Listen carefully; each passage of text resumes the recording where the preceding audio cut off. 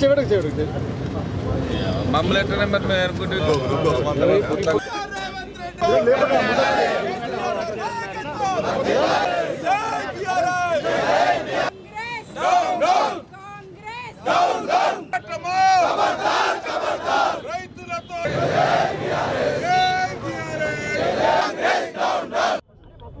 రేవంత్ రెడ్డి గారు ఈరోజు చంద్రబాబు నాయుడు గారి మాటలు రేవంత్ రెడ్డి గారి నోట్లకెళ్ళి బయటకు పడ్డాయి ఈరోజు. ఈరోజు రేవంత్ రెడ్డి మాట్లాడిన ప్రతి మాట కూడా చంద్రబాబు నాయుడు గారు మాట్లాడిచ్చింది. రెండు వేల పద్దెనిమిది సంవత్సరంలో కాంగ్రెస్ పార్టీ టీడీపీ పార్టీ కలిసి తెలంగాణ బీఆర్ఎస్ పార్టీ మీద పోటీ పెట్టి టీడీపీ పార్టీ కాంగ్రెస్ పార్టీ కలిసి మహాకూటమి ఏర్పడి తెలంగాణలో మొత్తాన్ని కూడా ధ్వంసం చేసే ప్రయత్నంలో మహాకూటమి ఏర్పడ్డది. ఆ మహాకూటమి ఇప్పటికీ కంటిన్యూ అవుతున్నది. ఇంకా తెలంగాణ మీద వివక్ష విషం చిమ్ముతూనే ఉన్నారు.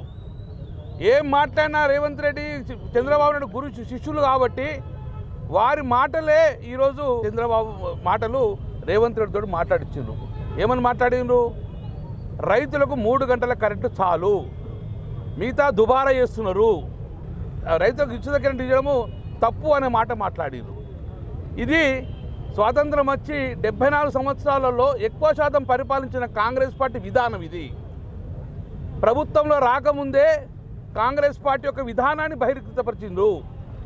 వారి నోట్లో నుంచి ఈ రాష్ట్రం యొక్క భవిష్యత్తును కాంగ్రెస్ పార్టీ గతంలో ఏం చేసిండ్రు ఇంకా ఏం చేస్తామనేది ఈరోజు చెప్పడం జరిగింది.